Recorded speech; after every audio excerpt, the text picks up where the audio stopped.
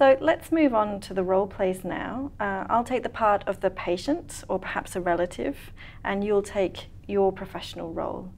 Each role play will last five minutes. The purpose of the role play is to get evidence of your ability to communicate effectively with patients. Use your ability to fulfill as much of the role play as possible.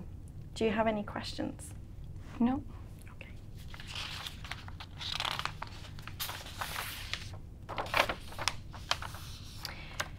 You have up to three minutes to prepare the first role play. You will start the role play after that time. I'll let you know when three minutes are up. You can ask me if there's anything you are not sure about, and you can make notes on the role play card if you want to. Here's a pencil for making notes. Thank you. You can look at the card during the test, but you must return it to me at the end of the test. This is your information for the first role play. It's role play number one for medicine. Please start preparing now.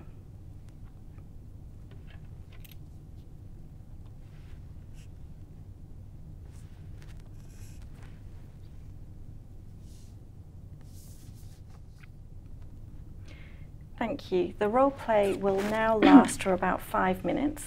Don't worry if I stop you when the time is up. Can you start the role play, please? Sure. May I just confirm your name and date of birth, please? Certainly. Um, my is Rebecca, and my date of birth is the 15th of March, 1978. Thank you, Rebecca. I understand that uh, you have just been discharged from hospital two weeks ago. Is that correct? That's right, yes. That must be uh, uh, very difficult for you. Yeah, I, I'm happy to be home and I'm Mm. feeling much better than I was two weeks ago, but I, I am feeling really quite tired, and I'm a bit worried about that. Sure. Can you tell me a little bit more about uh, the treatment? I understand that you had a mild anterior acute myocardial infarction, and then it was treated in hospital.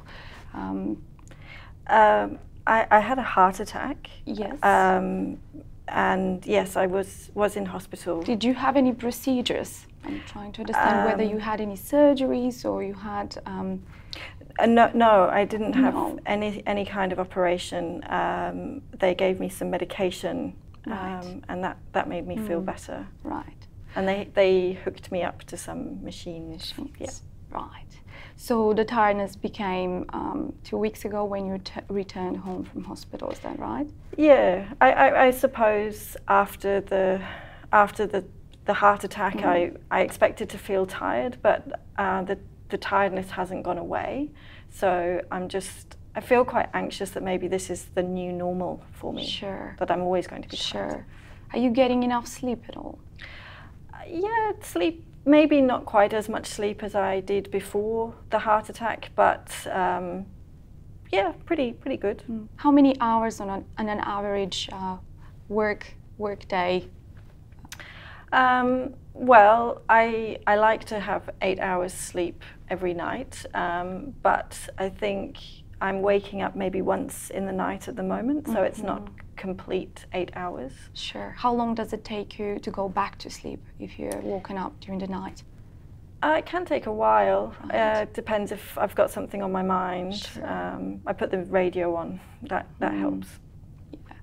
And before the heart attack, you never felt like this. No, No. So no. this is and the heart attack was completely unexpected. so, Sure. mm. Yeah, understandable. Well, in hospital, they would have done all the necessary investigations to exclude any underlying or unrecognized illness that would be contributed to your um, tiredness. So let me reassure you that this is purely due to the um, normal bodily reactions uh, once the body undergoes um, uh, such an event as heart attack.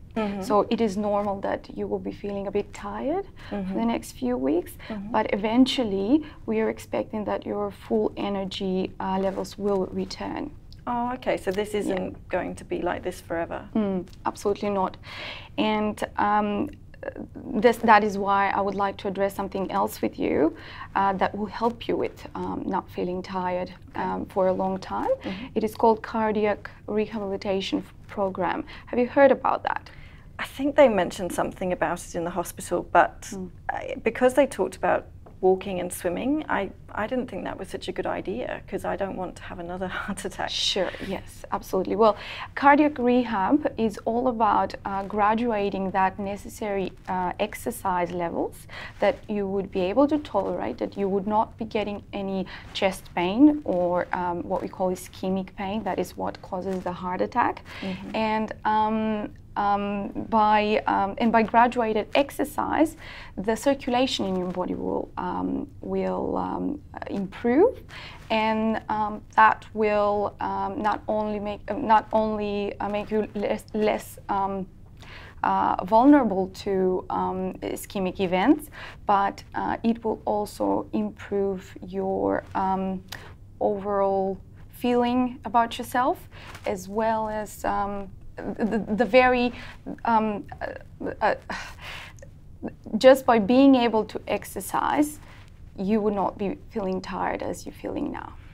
Okay, I, I, I do worry though. I mean, the doctor said if I had another heart attack, it would be more severe, and um, because I'm feeling so tired, I do worry that doing exercise is going to make me more likely um, the cardiac rehab is um, guided and coordinated by physiotherapists who are trained into um, this field, and that's what they do. They're experts at re- rehabilitating people who have undergone the same uh, problems as you have, and um, and are recovering from a heart attack.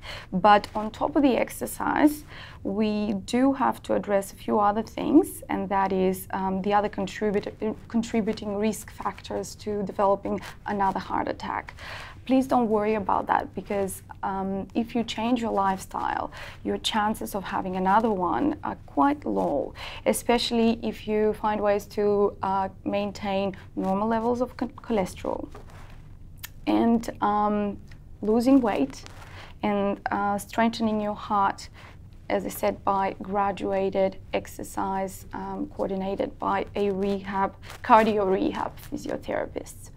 Um, the, Thank you. Yes. That's the end of the role play.